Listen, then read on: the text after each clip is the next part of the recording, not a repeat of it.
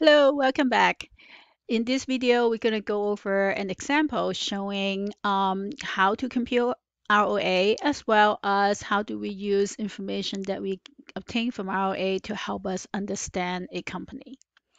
So first of all, we're going to make an assumption that income tax rate is 35%. So here are three companies. We have Macy, Home Depot, and SuperValu. Um, each of these represent a different type of um, business. Uh, as we all know, Macy is a department store. Uh, home Depot is a home improvement, uh, mostly big um, construction material, home improvement materials, and SuperValu is a grocery chain. First, let's take a look at Macy's. So to compute ROA, we need net income for the entire company. So uh, the measure of profitability is net income plus after-tax interest expense. So we have to take net income and we need to add 1 minus the tax rate and uh, multiply that by interest income. In our particular example, the tax rate is 35%. So we can put that right here. So 1 minus 0.35 times interest expense. So these two together will give us the profit measure and the denominator is total assets. So for Macy's to compute ROA, we'll take net income, in this case is a loss, um, of $4,803 plus 1 minus the 35% times interest expense of $588 divided by average total asset of 24,968. So that's negative 17.71%. To look at the decomposition, we're going to compute both um, the profit margin and asset turnover.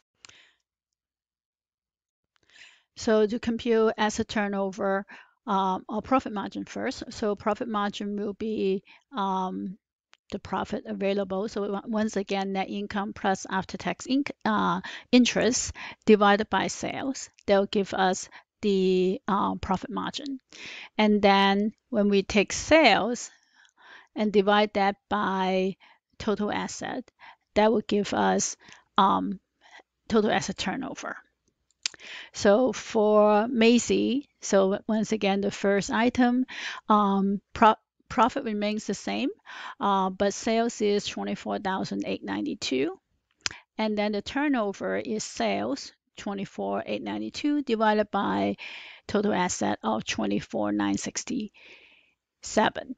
So we see in here that um, uh, Macy's has a negative profit margin, not surprising. Um, it also has a very slow turnover. So in this case, it's actually adding to its advantage because it's not losing as much money. Next, let's take a look at Home Depot. So Home Depot's um, profit, um, it does have a positive net income. So it has profit and we have to, once again, add the after tax. So 1 minus 0.35 times 624 uh, interest expense. So net income plus after tax interest expense divided by total assets. So it has a ROA of 6.24%. Next, we're going to look at the same decomposition. So what that means is we're going to look at the profit margin and then which is based on sales of 71,000 uh, 71,288 uh, and also the turnover. So just a, a simple glance here tells you that uh, Home Depot will have a much higher turnover.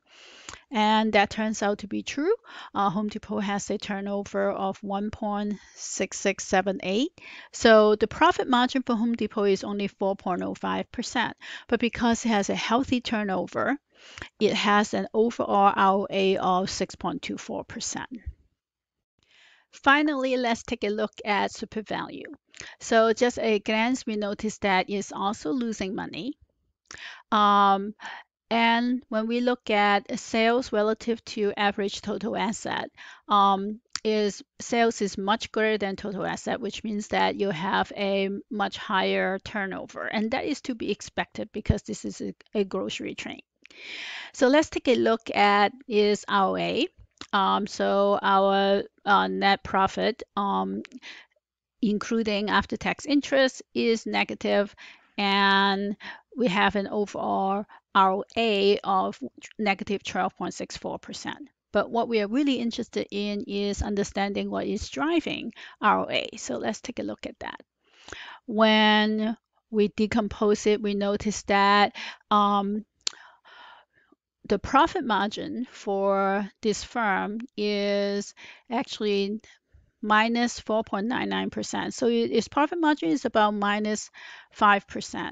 But because its turnover is so high, it has a turnover of 2.3, you end up with an ROA of negative 12.64%. So we see in here that turnover is a magnifier.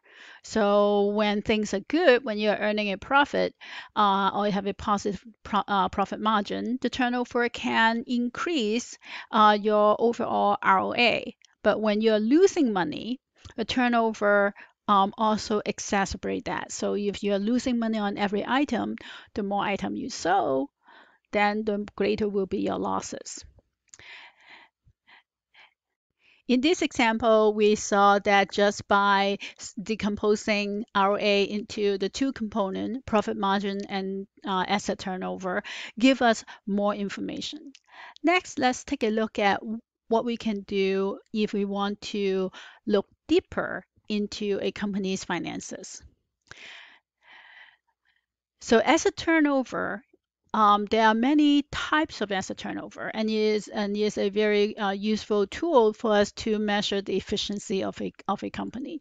Um, and the um, standard uh, obviously vary by industry because um, uh, there are ways that you conduct business uh, depending on the industry you're in, and uh, and you and also depends on whether or not you choose to use a higher overhead and a more uh, and which may lead to a higher um, turnover or a uh, or, or a uh, lower overhead, and that can lead to a, a lower turnover. Uh, I write here, watch out for too much efficiency.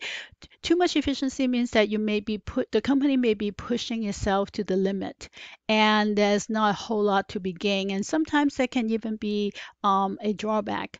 Uh, one of the things that we typically find when we see companies that's operating at much higher turnover rate than its competitor is an indicator that the company may be operating very close to capacity and therefore they will have to invest significantly in um, in assets in order to continue to grow. So it's not so much that too much efficiency is necessarily bad, but sometimes that may be an indication of needing um, huge investments in order to grow.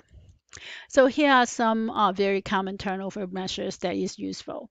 Uh, accounts receivable turnover.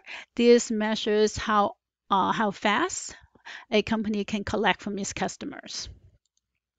Uh, inventory turnover, as the name implied, this is probably one that management look at a lot. Both of these are very important in terms of managing the company's um, um, current assets. And then fixed assets turnover, um, that is, um, this is particularly important. So when we talk about too much efficiency, fixed asset turnover is one item that you want to keep an eye on because if this is too high or much, much higher than the competitors, then there's a good chance that the company may be operating close to capacity. So asset turnover or efficiency measure is one category. The other category is profit margin and we have seen that. So once again, when we try to benchmark this, we need to take into account the industry that the company is in. Uh, typically, if you are, uh, for example, a grocery store, you can expect a much lower profit margin uh, compared to a department store. So the uh, characteristic is varies by industry also the level of competition in the industry and whether or not the company decided to choose a cost leader strategy or a profit differentiation strategy. Um, if a company is enjoying very high profit margin, um, then one of the things that we need to watch out for is are there potential new entrants? So, for example, the current degree of competition may be low. It's a new industry, so the company is enjoying very high profit margin. Um, as new entrants come into the market, that will oftentimes depress profit margin. Uh, there are other ratios um, that relates to profit margin that are very useful. For example, uh, contribution margin uh, or cost of goods sold ratio. So cost of goods sold divided by sales is the cost of goods sold ratio, and one minus that is the contribution margin. Uh, this is how much the company generate uh, for each dollar of sales. Um, to that enables the company to cover other kinds of overhead. Um, one of the major overhead is obviously SG&A, selling and administrative expenses, um, as a percentage of sales. So this measures um, the overhead burden on the firm. Um, you can also look at expense ratio in the income statement. That will be very help, uh, helpful to identify where the most um, drains are in terms of profit. And then finally, if you, your company um, report by segment, we, we looked at that earlier. Um, segment analysis is particularly useful for manager because um, that's the each segment is what they are personally have responsibility and also authority over. Unfortunately for investors uh, or external investors, um, that level of detail is often not, not available because a lot of these are non-GAAP measures. So once again, if it is a non-GAAP measure, then it's not required by the company to disclose to the public. We have seen the example from um, our last three company, um, Macy's, Home Depot, and SuperValu. And we saw that they have different ROA uh, due to profit margin and total asset turnover. Next, we're going to take a look at these individual ratios and see if that gives us more information. So here, eh, here are the information that we have again. Um, so we we happen to have cost of goods sold data and inventory data, so we can take a look at that. So if you take cost of goods sold divided by sales, so remember one minus that is our profit margin. Just based on the industry, uh, we'll expect that Macy's will have a higher contribution margin, meaning that they will have a lower cost of goods sold ratio relative to a, a grocery store like SuperValu. And if you look at the ratio that we computed, uh, and that indeed turned out to be the case. So Macy has a cost of goods sold ratio of 60%, whereas SuperValu is 77%. So much lower profit margin for SuperValu. Home Depot happens to be in between the two. Once again, contribution margin ratio is one minus the cost of goods sold ratio. So um, that may make more uh, more more sense or more intuitive for a lot of us. So Macy has a higher contribution margin ratio compared to SuperValu. Uh, next, we can take a look at inventory turnover. So again, this is average. This is sales divided by average inventory. Um, again, based on the um, industry they're in, we'll expect um, Macy's to have a lower turnover compared to a grocery store. So once again, we'll see that uh, inventory turnover for Macy's is five times. Um, is slightly higher for Home Depot. Um, and then very high for SuperValu. As we expected, you don't want the goods for a grocery store to be sitting on the shelf very long. And then finally, we can look at fixed assets turnover. And this is a little bit more difficult to um, to compare simply based on their um, operating characteristics um, because um, it you have to drill down into the ownership. So, for example, um, Macy typically does not own the physical store that is located in. It rent from uh, from a mall, uh, whereas Home Depots oftentimes own their own building. Uh, so it's slightly uh, more difficult to compare for fixed assets turnover.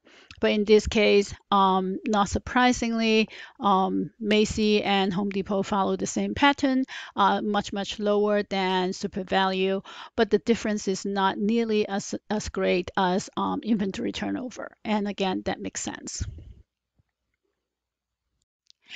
We'll conclude this video here. In the next video, we're gonna continue discussing the, um, another profitability measure that is very important, and that is return on equity. See you soon.